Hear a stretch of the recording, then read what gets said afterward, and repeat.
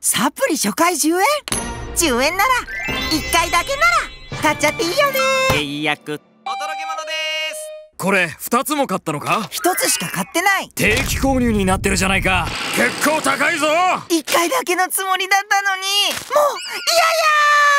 もういやいや消費者ホットラインです。契約内容は読み飛ばさずに条件をよく確認しましょう。でも困った時はいややへ。相談したい。